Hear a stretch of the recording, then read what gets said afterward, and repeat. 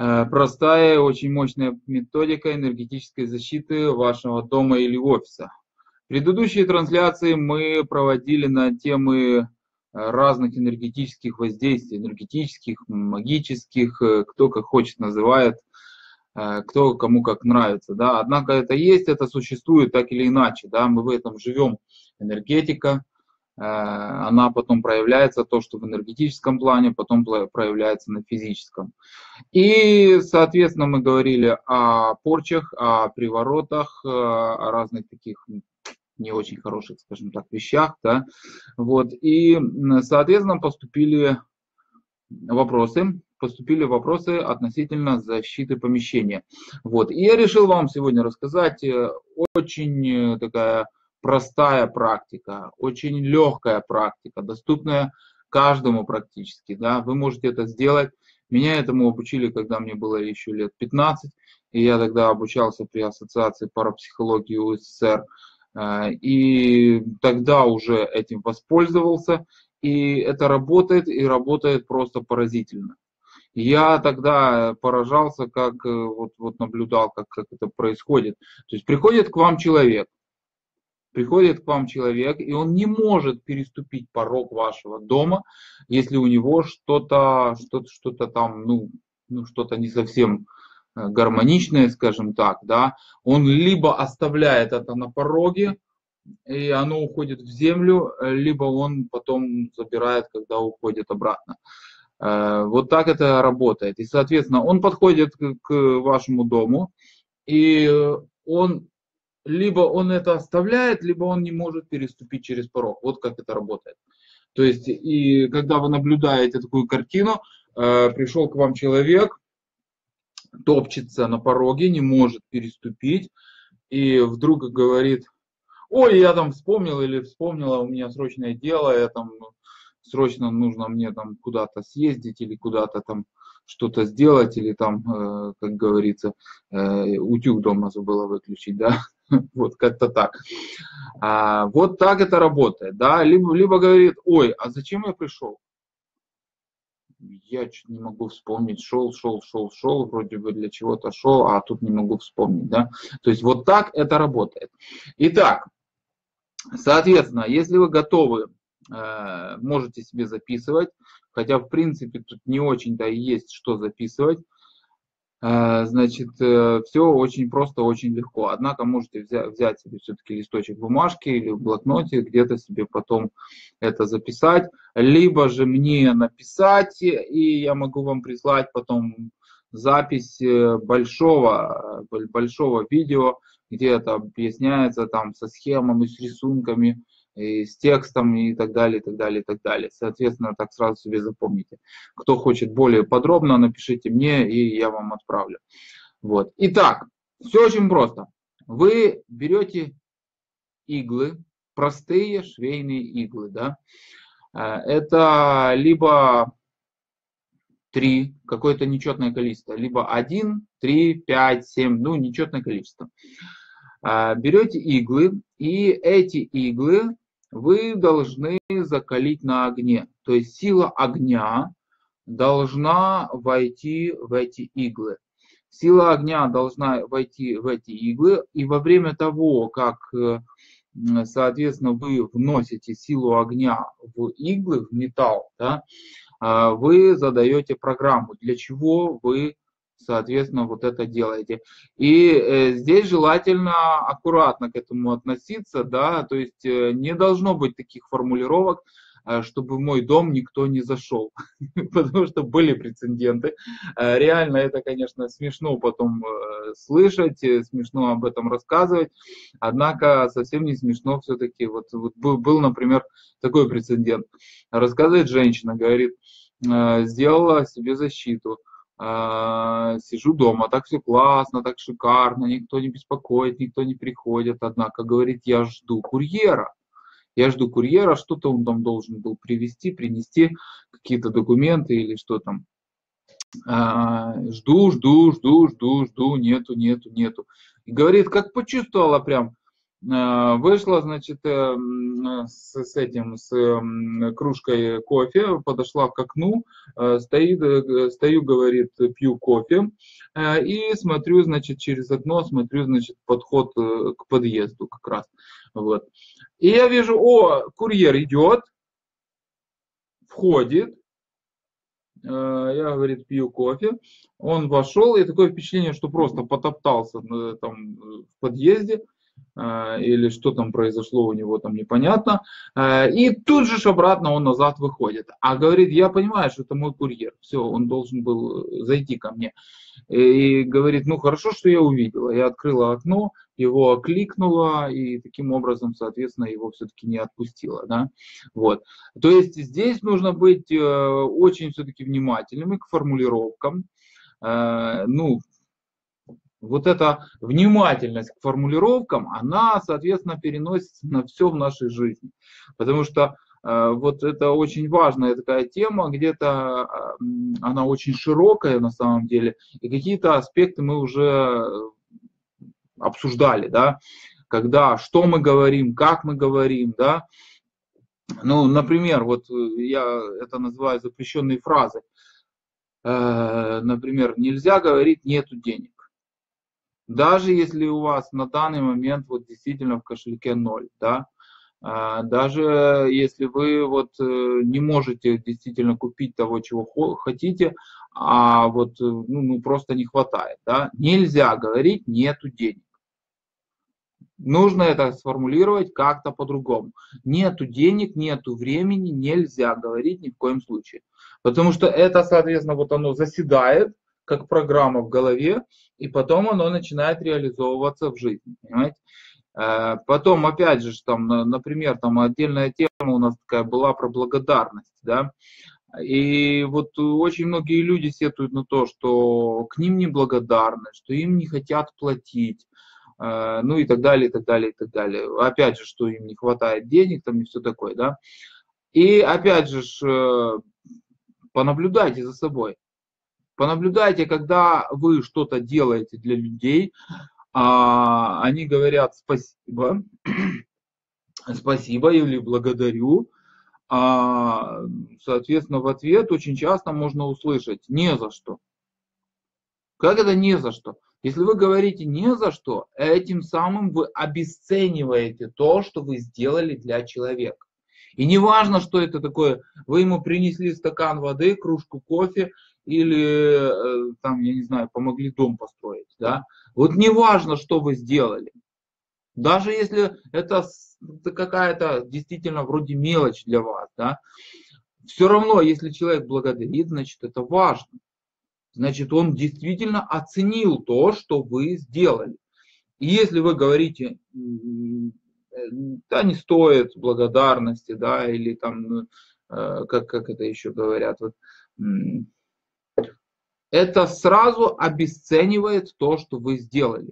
Это с одной стороны, во-первых. Во-вторых, этим самым вы фактически запрещаете человеку направлять к вам энергию благодарности. Вы не разрешаете благодарить вас. То есть мало того, что вы не получаете этой энергии благодарности, так вы еще человеку перекрываете, потому что он получил, а отблагодарить не может.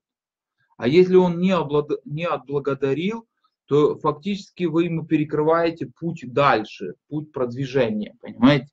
Вот, это на самом деле очень серьезные, очень серьезные вот вещи. Да, к иглам возвращаемся. Итак, это к вопросу о том, что нужно внимательно думать, э, что вы говорите. Понимаете, вот э, как вы формулируете. Это относится ко всему. И очень важно это, конечно, когда идет речь о каких-то магических ритуалах, о каких-то энергетических процедурах и так далее. Итак, э, вы берете иглы, э, можно это сделать по-разному. Можно положить иглы в сковороду и, вспомнил анекдот, сейчас расскажу, положить в сковороду и в сковороде их прямо вот на газовой комфорке, их, ну, прожарить, скажем так, да, вот. Главное, чтобы не было, как в том анекдоте, когда э, жена приставала к мужу и говорит, э, что ты все карниз не можешь мне повесить, а, И он в конце концов не выдержал, значит, вот и придумал, говорит, э, ну, ты понимаешь, там нужны такие каленые специальные гвозди, чтобы я забил этот карниз, э, там, значит, в стену. А, и говорит, вот нужно взять гвозди и пожарить их в, в, в этом в подсолнечном масле. Но жена послушала, послушала, ну надо, так надо, пошла гвозди вы, на это на сковородку высыпала, э, маслом залила и давай жарить. Э, вот. А, а он быстренько телефон набирает телефон, говорит, приезжайте, моя жена с ума сошла, она мне гвозди жарит на, на, на ужин. Вот.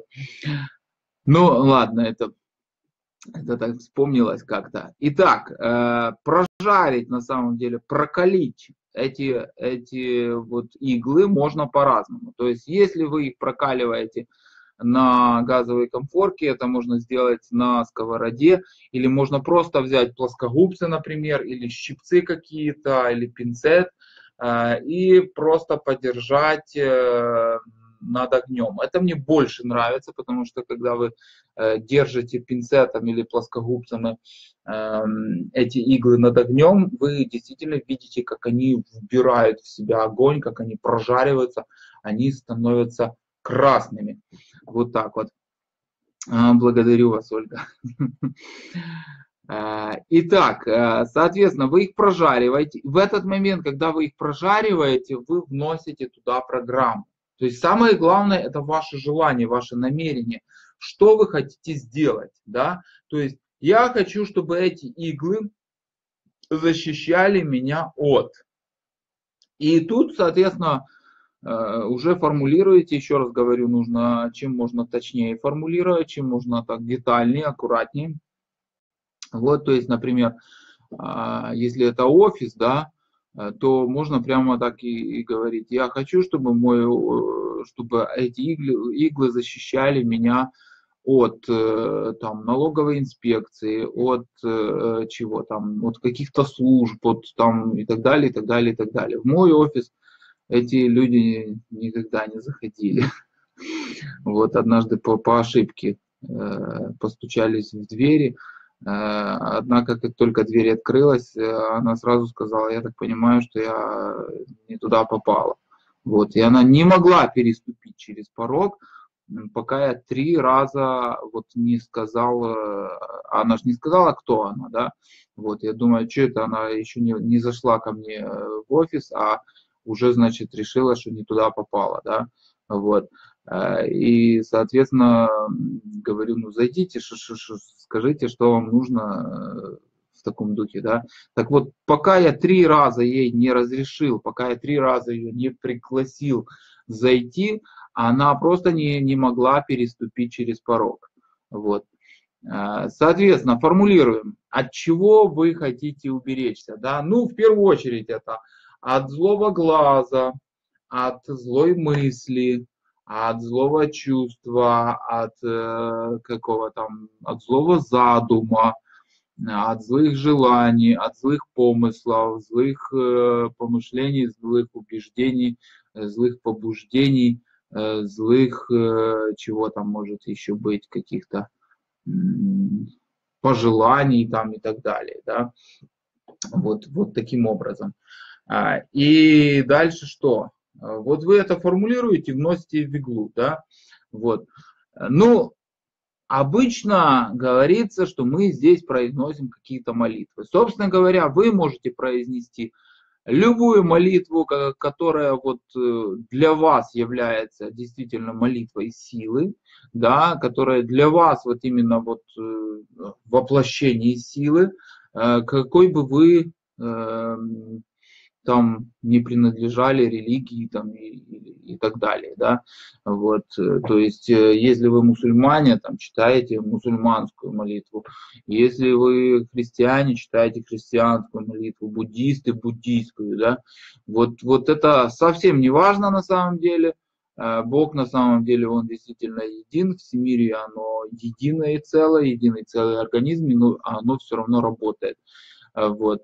Если же вас интересует э, действительно вот как это традиционно славянский вот э, заговор, который читается вот над этими иглами, и традиционные молитвы, которые конкретно открывают вот эти порталы силы э, перед тем, как вы жарите иглы, то еще раз говорю, напишите мне ну, в личное сообщение лучше всего да, напишите меня, э, и я вам просто, просто вышлю либо текстовкой, либо видео, потому что было у нас такое видео, там, там я конкретно там слайдами давал, там все с объяснениями, все это, вот так вот.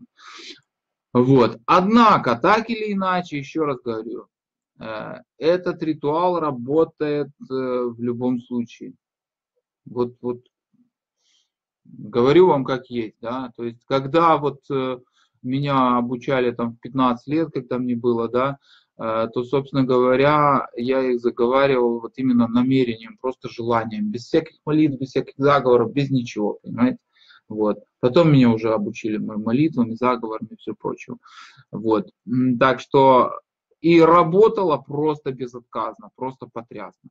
Итак, прокаливаете эти иглы, и тогда нужно их вставить э, вниз острием вниз острием, понимаете, так, чтобы они, ну, как, как бы заземление идет. То есть снимается негатив с человека, э, с человека снимается негатив, и он уходит в землю. Ну, или уходит в землю, или потом человек, когда уходит, э, он может забрать это за собой. Это уже как, как, э, как он решит, скажем так, да, решение такое за ним.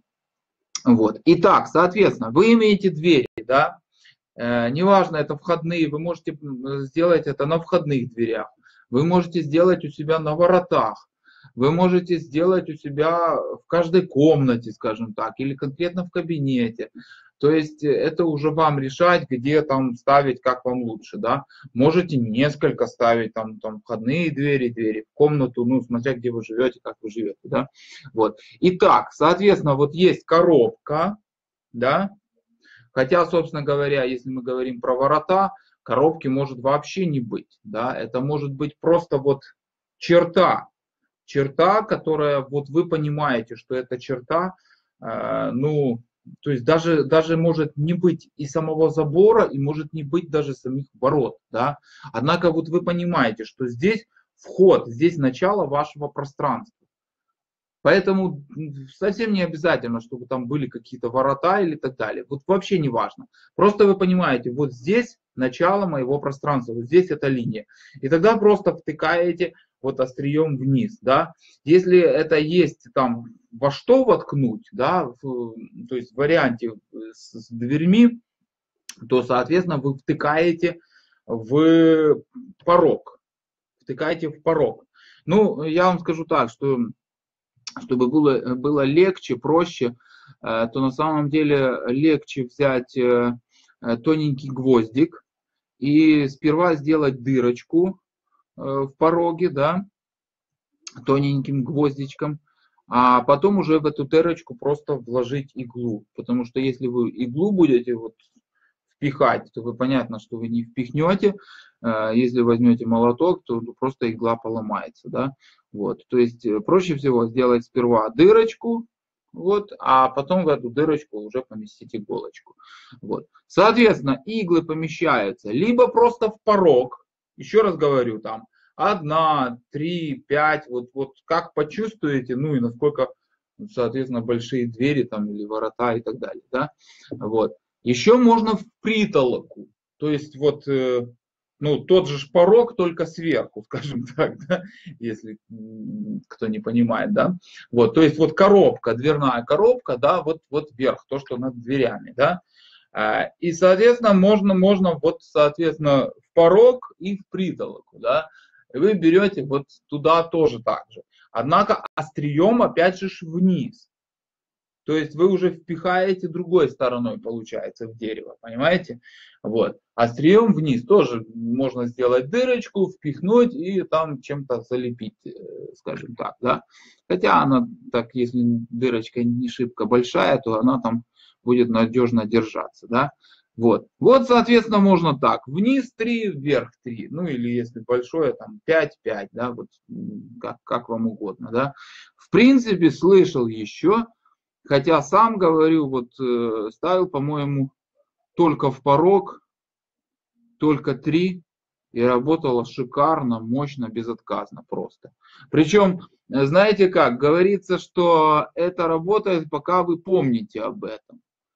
А, я вам скажу так, ну, поэтому стоит э, это поддерживать своей ментальной энергией, стоит поддерживать эту систему защиты, скажем так.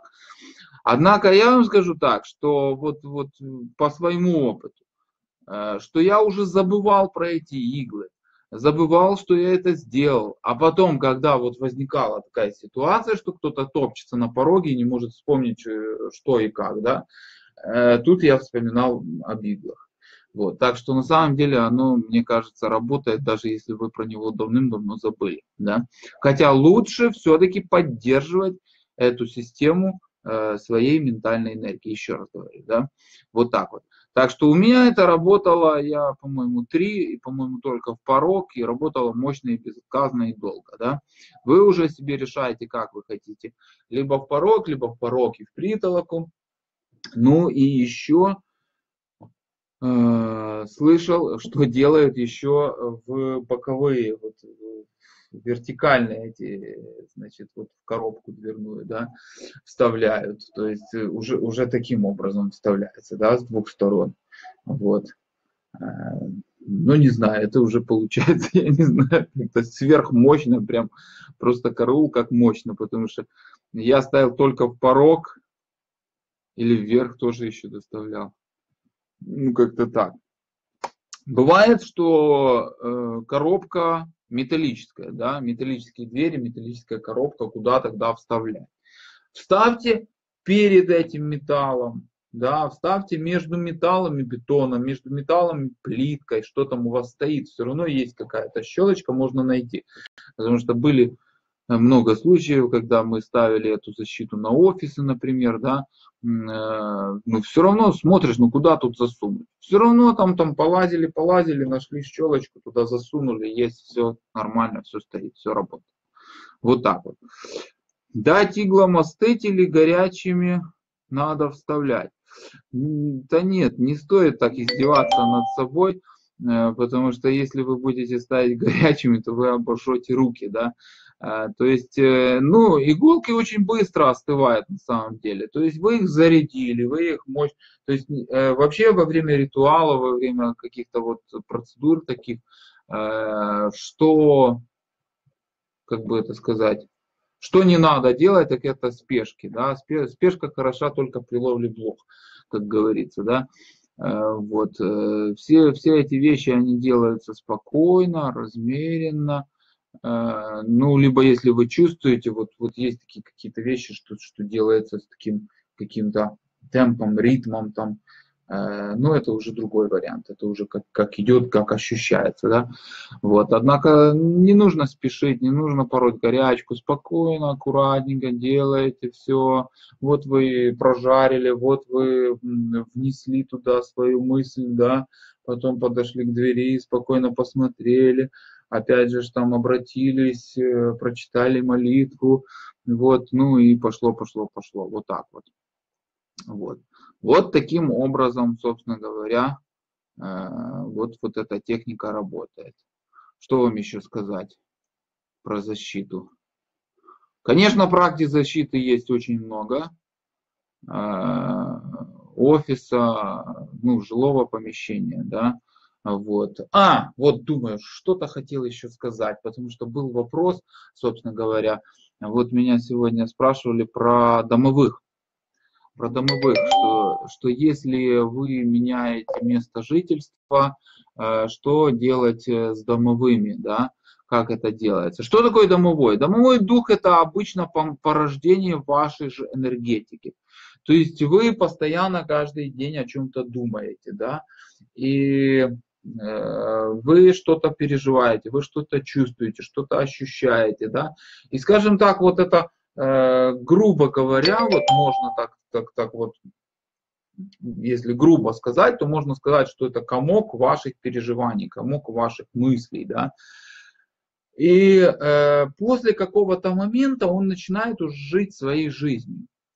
И, соответственно, вы можете с ним взаимодействовать, вы можете с ним дружить, общаться. Э, конечно, что, опять же, его характер зависит от вашего характера, да, и от ваших мыслей. Э, то есть, если у вас хорошие устремления там, на порядок, на чистоту и так далее, то он будет способствовать тому, чтобы в вашем доме действительно поддерживалась и чистота, и порядок, и все, и все, и все, понимаете?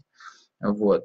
А, с ним можно очень легко подружиться, очень легко, значит, взаимодействовать, можно ему там какие-то дары оставлять, там, например, молочка чуть-чуть, там, или сладости какие-то, да, а, вот. Но обычно люди вспоминают про, про вот этих духов, когда им что-то нужно, да, вот. Ну, что поделать, э, если уже вот э, недостаточно внимания, чтобы постоянно помнить. Ну, вспомнили, когда нужно. Ну, ну ладно, ну уже так, как есть, да.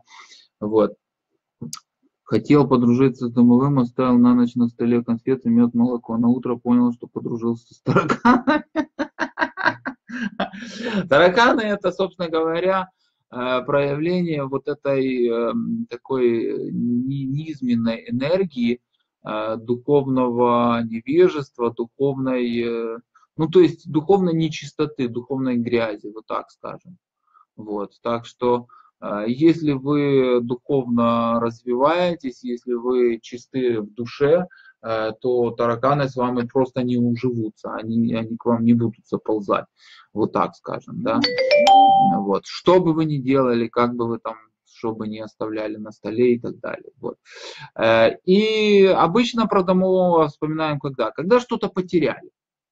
Колечко где-то, ну вот э, дочь как-то не могла кульчик найти. И говорю, ну что ж ты так это ж э, домовому вот возьми, поставь на алтарь, там домашний алтарь, поставь на домашний алтарь там вот печенюшечку какую-то, конфеточку, а, и обратись, попроси, и все нормально, значит, вот. А, и она так, ну, как-то с таким недоверием слегка так, ой, а что серьезно, а что действительно, э, вот, ну, я посмотрел, посмотрел, потом говорю, ладно, я понял, нужно самому сделать. Вот, подошел, обратился, значит, попросил, и реально это находится. Причем были случаи, когда вот эти потерянные вещи, они находятся вообще в другом месте, Эм, то есть либо просто вот вы знаете, что вы только что сюда смотрели, и тут на столе там или на полке точно не было этой вещи. И тут вы подходите, смотрите, опа, есть то, что потерял. Потеряла, понимаете? Вот. Э, был вообще случай, когда мы на тренинге, значит, там э, утренние практики, там, значит, выбежали там чуть-чуть сделали пробежечку там, а, и там позанимались, потом вернулись обратно, да, вот, и потерялся мобильный телефон. Опять же, обратились к домовому, а, и этот мобильный телефон э, нашелся. Однако, опять же, он нашелся совсем не в том месте, где, собственно говоря, он должен был найтись, да, вот. И ну, причем человек принес просто, э, вот говорит, я чувствую, меня тянет, прям тянет, иди туда посмотри. Я подхожу, телефон, о, взял, э, так, чей телефон? Чей телефон? И, значит, вот, а, вот, вот потерялся. Вот. То есть это действительно работает. Э, самое главное, чтобы вы это осознавали, что это действительно живое взаимодействие – ну да, ну, собственно говоря, понимаете, вот как вы обратитесь, обращайтесь искренне от сердца, понимаете? То есть обычно говорится там, вот, домовой, домовой, поигрался и отдай, да? А, однако, опять же, ну, а, а кто вам сказал, что, что он взял это поиграться, да?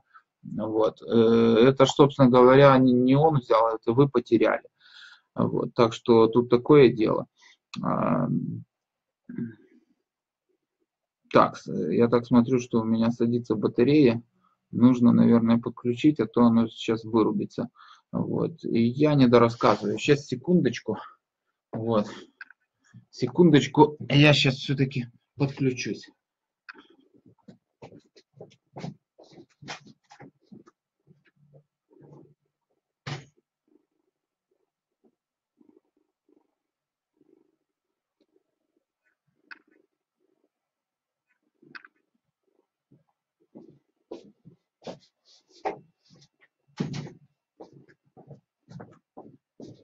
Так, ну что, много вам рассказала наша милая Ася. А?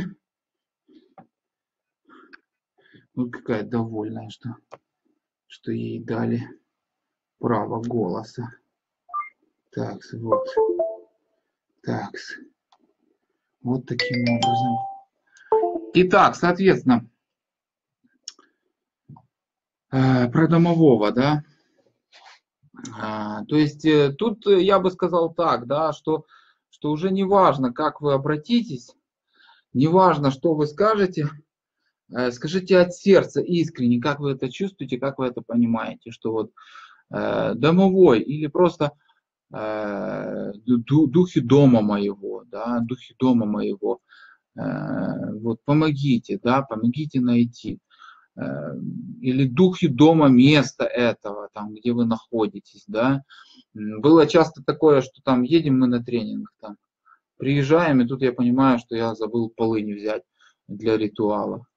Боже мой, ну где я возьму полынь, да, я выхожу, смотрю, вообще не видно полыни, там поле, лес, смотрю, ну вообще такие, такие какие-то места, что полыни ну, не видать, да, как-то не растет. Хожу, хожу, смотрю, и тут просто решаю, значит, обратиться к духам места этого, э, говорю, помогите полынь найти, я вас прошу, вот вам, значит, там подарочек мой, значит, подарочек, опять же, в первую очередь из души должен идти вот этот свет благодарности, вот, и, соответственно, обратился, буквально я делаю несколько шагов и раз опускаю голову, смотрю и вижу полынь под ногами, понимаете?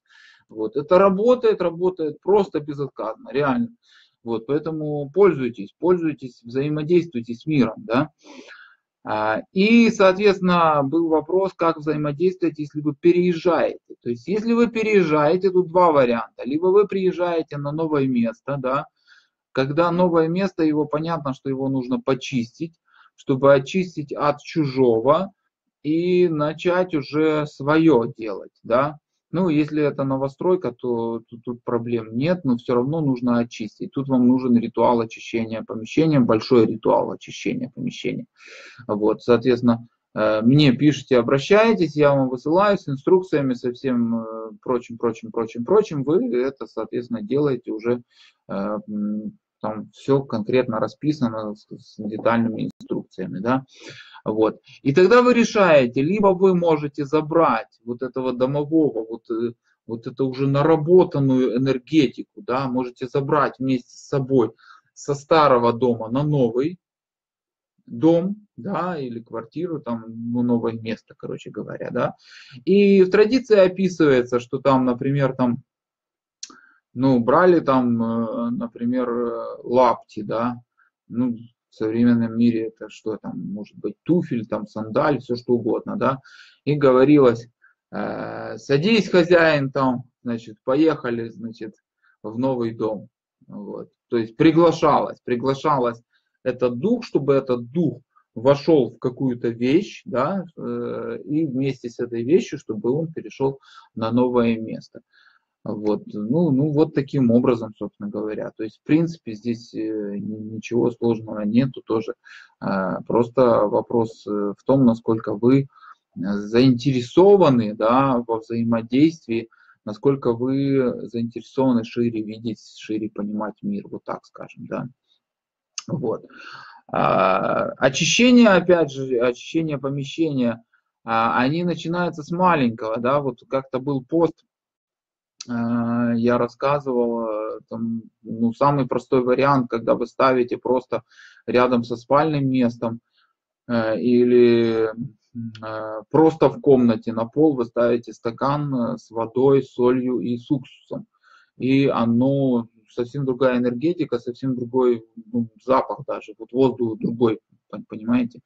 Вот. И люди писали после этого поста, как они сделали, и, и действительно там некоторые люди писали, реально там ну, жизнь меняется просто, потому что вы начинаете жить по-другому, в другом состоянии, в другой энергетике, понимаете? Ведическая традиция это, предписывает, когда вы просыпаетесь утром, обязательно нужно принять холодный душ вместе с волосами, вместе с головой, чтобы это смыть с себя все, что за, за ночь налипло. И опять же, вместе с этим обрызгать обрызгать холодной водой спальное место, и если есть возможность, э, то протереть пол под спальным местом. Вот. То есть начинаем вот с самых таких простых вещей, их много, понимаете, а, их используем, а потом уже, конечно, подключаем там раз на некоторое время подключаем какие-то такие серьезные вещи, да, вот.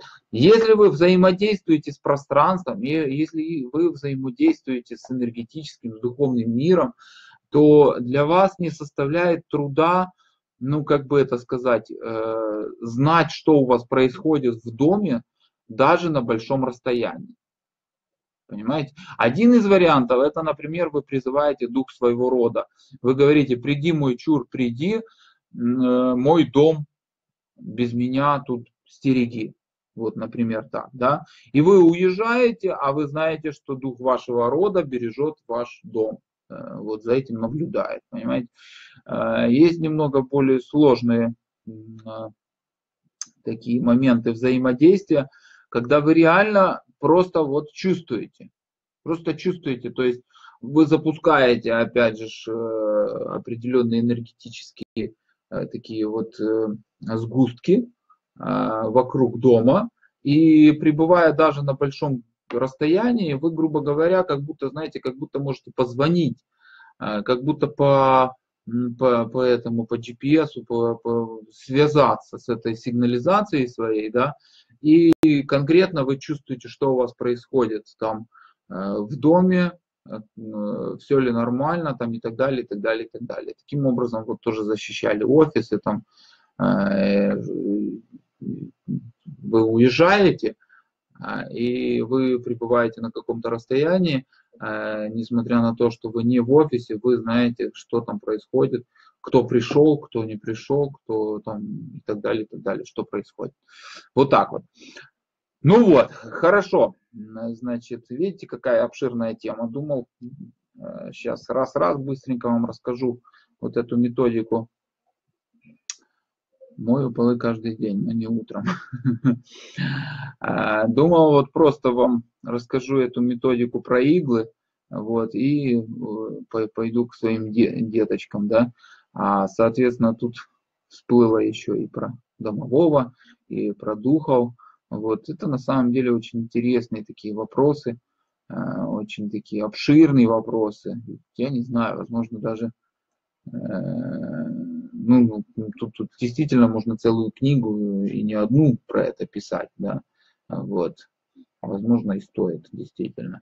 Ну, посмотрим, подумаем. Итак, хорошо, на этом, на этом я с вами, так, расскажите, почему деньги нужно давать правой рукой, а забирать левой рукой. Ну, смотрите, обычно, понимаете как, эм, обычно левая рука у нас принимающая, то есть э, идет э, вход через руку. Вот. А, хотя, опять же, есть свои нюансы. Тут вот у меня через левую руку идет выход определенного канала духовного, э, который работает с определенными вещами. И когда я чувствую, что он активизировался, я понимаю, что в пространстве там происходит что-то там, вот, э, одно, второе, третье, вот так скажем. Вот. Однако обычно в большинстве случаев вот все-таки идет прием, да, вдох.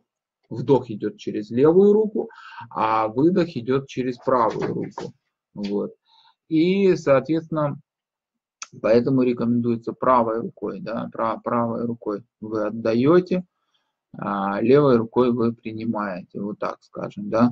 Ну, с деньгами очень много а, связано тоже интересных вещей. А, и здесь в первую очередь, опять же, ну, знаете как, э, заморочки, да, заморочки нужно вот это избавляться от всяких ограничивающих утверждений, от всяких страхов и так далее, и так далее, и так далее. Деньги нужно любить в первую очередь, да. Вот если уже зашла речь про деньги, я вас спрашиваю, э, вот вы возьмете купюру, да, вот представьте, что вы держите сейчас денежную купюру в руках. Посмотрите на деньги. Что вы ощущаете? Когда смотрите на деньги. Вот это очень интересный вопрос. Я люблю его задавать, потому что когда я его задаю, а, я сразу ощущаю очень приятные ощущения. Вот реально, когда я начинаю говорить про деньги, у меня начинает активизироваться на самом деле каждая чакра. Вот, как будто мантру говорю, понимаете? Потому что деньги это воплощение энергии благодарности. Это очень чистая духовная энергия на самом деле. И если вы открыты для благодарности, да, э, если вы спокойно принимаете благодарность, спокойно принимаете деньги, то тогда вы, э, ну вот начинаем вот с этого, что вы спокойно смотрите на деньги и чувствуете радость, чувствуете наслаждение, чувствуете удовольствие, э, вот даже когда вы просто смотрите на деньги, понимаете? Вот это самый простой тест, с него начинаем, скажем так. Вот протестируйте себя, да, и напишите потом мне там в личку или в комментариях, что вот вы спрашивали про деньги, я во время там, когда я смотрю на деньги, я чувствую то-то и то-то и так далее. Вот, я очень люблю деньги, вот это хорошо. Вот. Когда кто-то говорит, что деньги это, ну даже не хочу говорить вот э, какие-то вот негативные вещи, так скажем, одним словом, да, вот, я так сразу, опа, понятно, все, вот. Ну, обычно первое, что говорю, я говорю, ну, люди добрые, вы понимаете, что деньги это часть Бога. Это тоже часть Вселенной, это тоже часть Бога. Соответственно, если вы э, говорите, что вы не любите что-то, то значит вы не любите и все целое, понимаете? Вот. Это проявление нелюбви к Богу, опять же. Нужно любить весь мир единым целым. Все вместе. Вот. Ладно, а то так и не уйду от вас. Все, благодарю вас за внимание. Э, до скорых встреч. Жду ваших новых вопросов. Соответственно, буду рад э, ответить. Буду рад, соответственно, кто хочет э, подробные инструкции по поводу ритуала очищения, пишите. Кто хочет подробные инструкции по поводу вот методики защиты, пишите. Там, соответственно, тогда заговор, молитвы вышлю. Так, так как это вот уже так ну, уже конкретно, конкретно по полочкам. Вот, вот так вот. Хорошо. Ну и, соответственно, сделайте, потом напишите, насколько получилось, как получилось. Вот так. Вот. Хотя, еще раз говорю, получится. Если захотите сделать, получится в любом случае. Все здесь намного проще. Вот так вот. Все, итак, Инстаграм, до свидания. Пока-пока.